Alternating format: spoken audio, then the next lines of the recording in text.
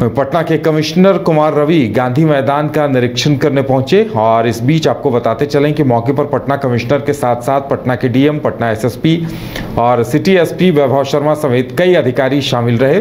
रावण वध कार्यक्रम को लेकर गांधी मैदान का निरीक्षण किया गया। साथ ही दशहरा ट्रस्ट समिति के साथ बैठक भी की गई और पूरे गांधी मैदान में कमिश्नर ने घूम घूम कर व्यवस्था देखी और कई ज़रूरी दिशा निर्देश भी दिए।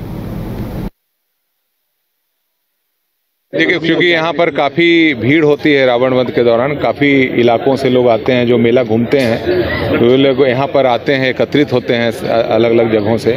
और पुनः यहाँ रावण वध के कार्यक्रम पश्चात पटना के विभिन्न क्षेत्र में यहाँ से आगे निकलते हैं।